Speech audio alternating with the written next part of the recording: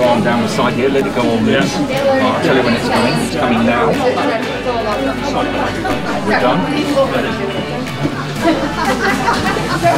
we're at that stage now we want to get back to sort of normality in society and um, you know lads if, if, if, you haven't had it done yet you know get down and, and, and uh, get jabbed. Obviously there's a lot of people that have uh, had the vaccine um, but there's still uh, quite a lot of people that haven't so um, you know get down to the stadium it's quick and easy and uh, you know just get it done.